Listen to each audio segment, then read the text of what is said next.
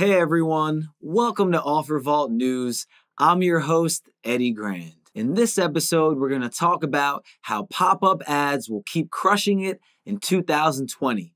So stay tuned to learn more about that. But first, here's a rundown of the top headlines this week. Spotify is the latest platform to halt political ads. The company said it will put the brakes on political advertising in early 2020. There will no longer be political ad sales in the US on the platform starting very soon, Ad Age reports.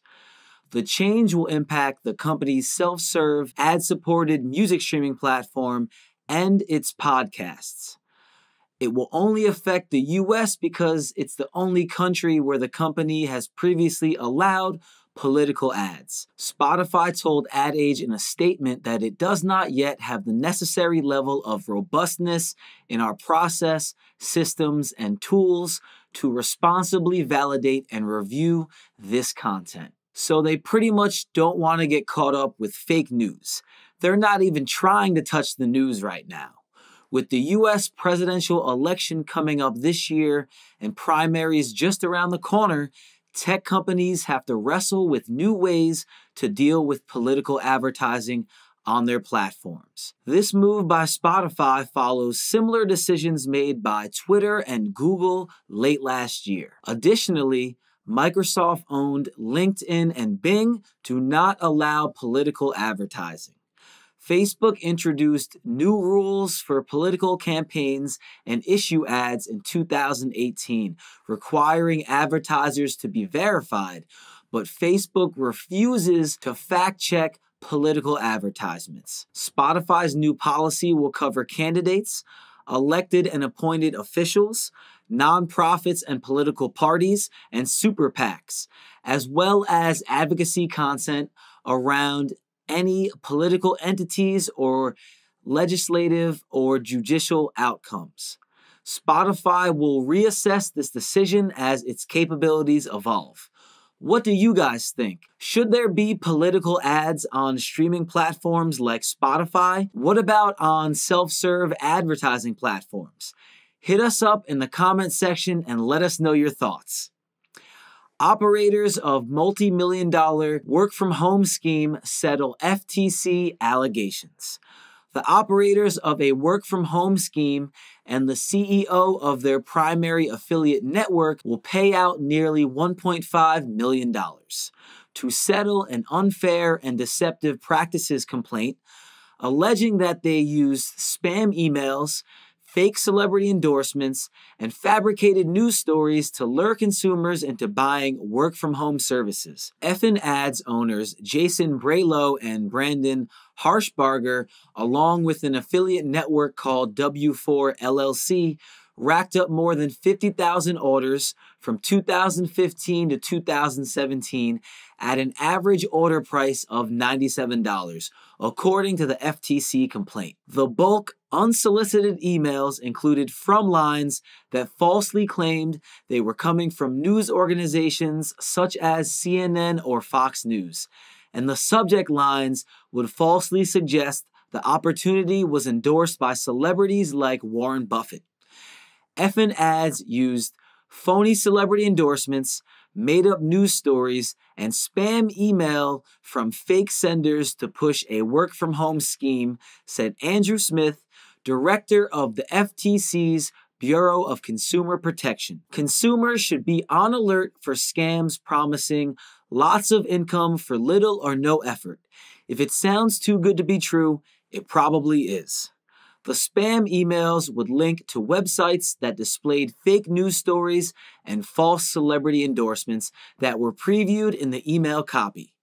People who clicked on the links in the fake news stories were then referred to Effen Ads sales website, which pitched the company's work from home schemes. The schemes operated under numerous brand names such as Secure Home Profits, Paydays at Home, Home Cash Flow Club, Home Cash Code, Your Income Getaway, Home Payday Club, and many more. Effen Ads was also selling consumers' contact information to third party telemarketers who tried to sell those same consumers business coaching services which cost thousands of dollars. The FTC's complaint alleges that Effen Ads perpetuated the scheme by using shell companies and straw owners to obtain merchant accounts used to process consumer credit card payments. They were even laundering credit cards to evade merchant monitoring programs. As part of the settlement, W4 Chief Executive Jason Walker will pay $1.3 million. And he's also prohibited from providing any affiliate marketer with ads containing false or misleading representations about celebrity endorsements, objective reviews, or news source affiliations. The settlements with Harshbarger and Brailow and Effen Ads impose an $11.3 million judgment, but that's going to be suspended upon payment of $25,000 by Harshbarger and $121,948 by Brailow because they apparently can't pay the full amount. They're both also permanently banned from marketing or selling business opportunities or business coaching products and are prohibited from making any misrepresentations in the marketing or sale of any product or service. Does the punishment fit the crime?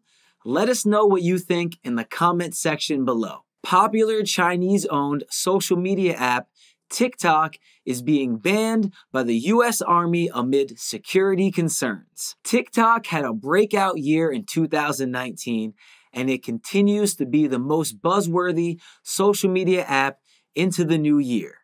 The app's growing popularity has now become a concern of the US Army as TikTok is no longer allowed on any government phones. A U.S. Army spokesperson told Military.com that it is considered a cyber threat. The ban comes in the wake of Democratic Senator Charles Schumer and Republican Senator Tom Cotton writing a letter to U.S. Director of National Intelligence Joseph Maguire, insisting an investigation into TikTok would be necessary to determine whether the Chinese owned social media video sharing app poses any risk to national security. Given these concerns, we ask that the intelligence community conduct an assessment of the national security risks posed by TikTok and other Chinese based content platforms operating in the US and brief Congress on these findings. The letter said the social media app known as Douyin in China and TikTok outside its home market is owned by Beijing based company ByteDance. Previously, Senator Marco Rubio had accused TikTok of trying to censor content in the US to keep in line with the interests of the Chinese government.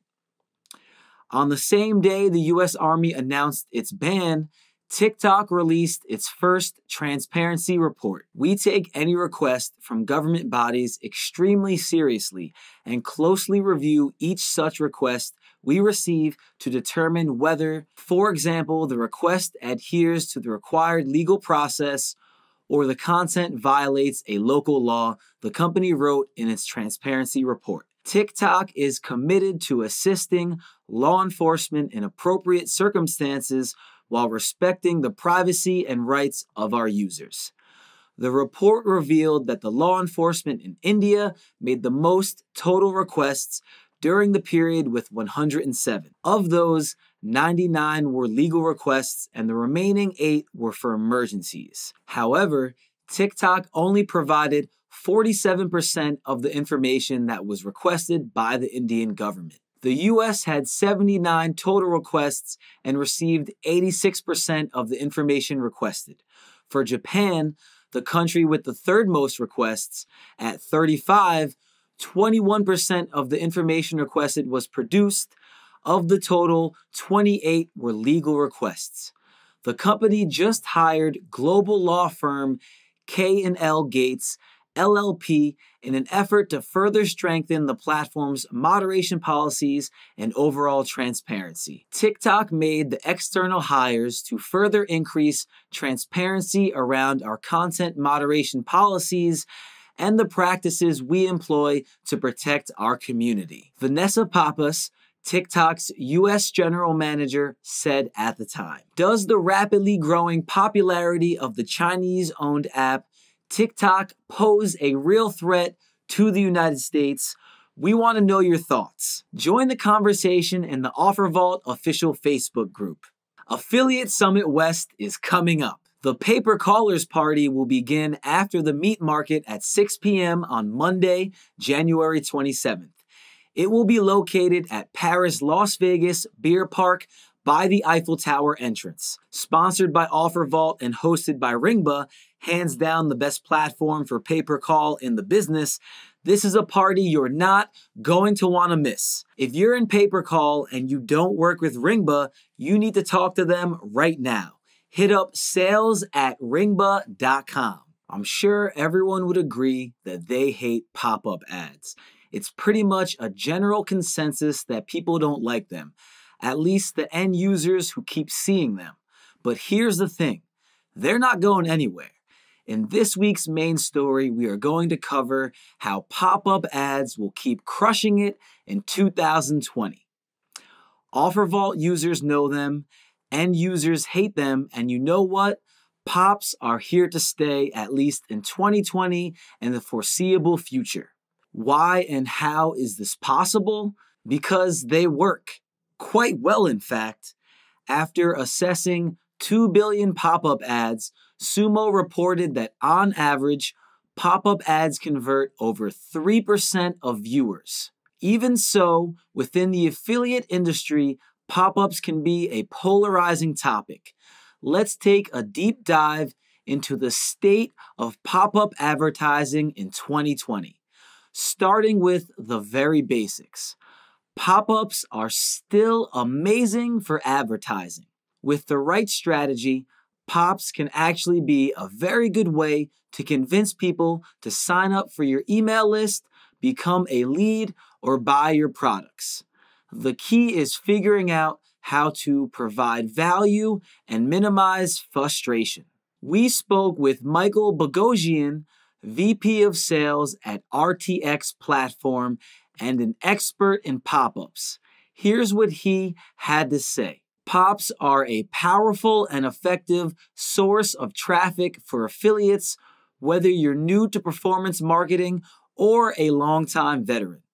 One of the reasons why Pops outperform other ad formats is because so many different verticals work for Pops. Now, before we move forward, I'd just like to give a big shout out to Michael for providing us with this exclusive state of pop up advertising in 2020 overview. Anyone who is interested in buying pops needs to check out RTX Platform at www.rtxplatform.com.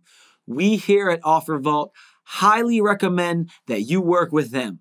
Following our email exchange with Michael, we put together a list of best practices for pop up ads in 2020. Here's the list. The first and most important thing is to make sure you're adding some type of value, whether it's something like discounts, limited time offers, or exclusive access. You want people to feel like they're getting value from the ad and products or services offered. Simple enough, right? Number two, reach only the right people by picking and choosing targets that range from run of network to keywords. Some things remain true across all ad formats. In the case of pop up ads, having the right targeting remains critical, as it is with other ad formats you may already be familiar with. Number three, scale by adding new targets, raising bids when things are good, lowering when things are slow, and optimizing off non performant sub IDs and domains. You've nailed down your targeting.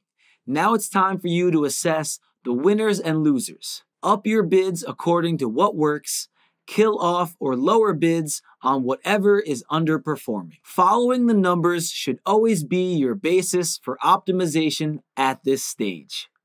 Number four, make sure you are using a conversion pixel. Need I say more?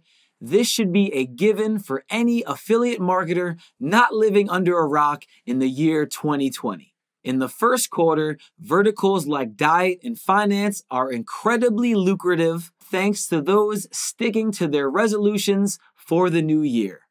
Don't take it from me, take it from Michael Bogosian himself. The man essentially runs an entire performance marketing exchange and knows what works and what doesn't in pops. E commerce dominates the fourth quarter. Once again, take this advice from the man himself, Michael Bogosian, Vice President of Sales at RTX Platform. We know Q4 of 2019 is now behind us, but looking forward into the horizon of 2020, you should be prepared to go big on ecom with pops once Q4 and the holiday shopping season arrive. Surveys, freebies, dating, games, and coupons are offers that see major ROI year round. Stuck somewhere between Q1 and Q4 and need new offers to run? Or just looking for new verticals to experiment with, Michael considers all of these to be reliable, safe bets when getting your feet wet in the pop up traffic waters or even suited for the season pops experts out there. Love them or hate them, pop up ads work and they're here to stay. Use these tips to help yourself create profitable POPs campaigns that people will actually appreciate.